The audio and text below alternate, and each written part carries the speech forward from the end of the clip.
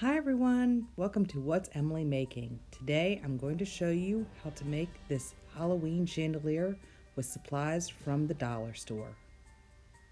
We're going to start our project with this spooky spiderweb basket. You'll need about eight packs of these spider rings, orange and purple, these iridescent votive glasses or any votive of your choice, and two packs of these lights. Start by hot gluing the spider rings to the spiderweb basket. So I just started with the layer of the purple and I follow along the line of the basket to keep that shape. For this initial row, I do like to leave the front legs on. Um, so you're just going to keep on following the shape of the bowl.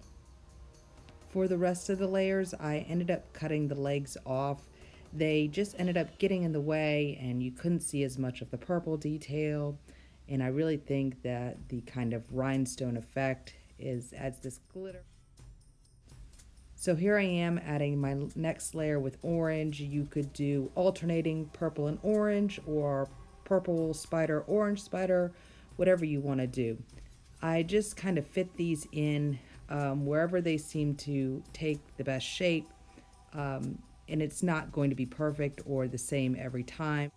For the next part, I snipped off part of the web. I left the top of the basket. It's gonna be what the votive is gonna sit on.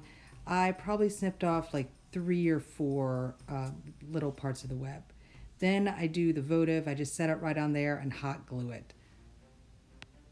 And for the last part, I just sort of glued moss wherever there were holes or you could see through and I glued battery packs onto the back and split it between the two glasses.